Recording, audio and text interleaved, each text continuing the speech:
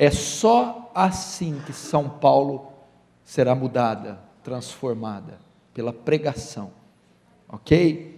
Não é pelo, ah, pastor, mas eu já profetizei tanto sobre essa cidade. Querido, deixa eu te explicar uma coisa. O que, que você fez? Você subiu em cima de um prédio, levantou a mão. Eu profetizo sobre São Paulo. Você entrou no metrô, eu profetizo sobre São Paulo. Na Praça da Sé, eu profetizo. Para que serve isso? Isso não é bíblico. Esse profetizo não é.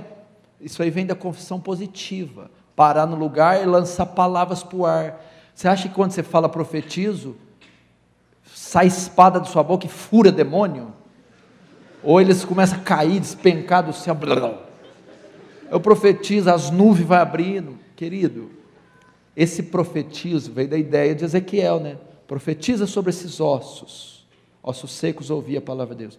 Para o nosso contexto, a maneira de expulsar os demônios de São Paulo, a Cracolândia mudar, esse profetizo é a pregação do Evangelho de porta em porta, de casa em casa, de ouvido a ouvido, quer num púlpito, quer fora dele, no metrô, na praça. O profetismo é a exposição clara, lúcida, inteligível do Evangelho. Quando o pecador ouvir, entender e crer, aí sim demônios saem, aí sim avivamento vem, aí sim há restauração. Agora, palavra para o ar, em cima de um prédio, uma ponte, dentro de um bueiro, profetizo, é confissão positiva, não tem valor, poder, proveito nenhum.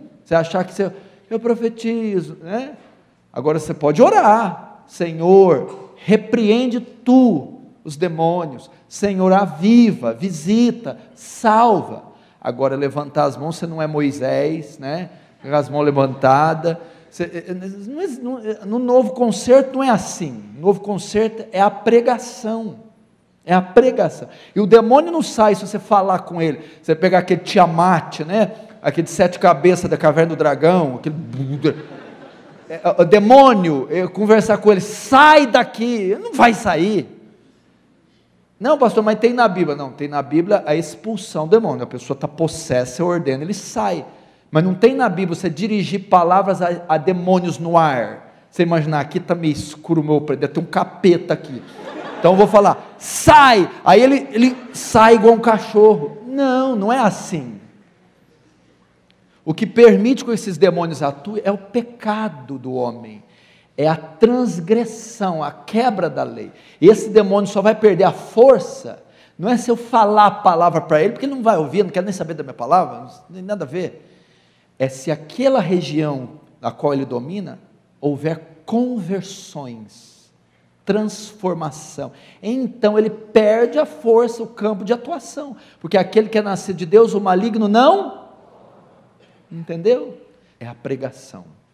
Você quer, você quer expulsar demônio? Vai na Cracolândia e prega é, para ouvido após ouvido. Aí você vai ver ele ser expulso. Amém?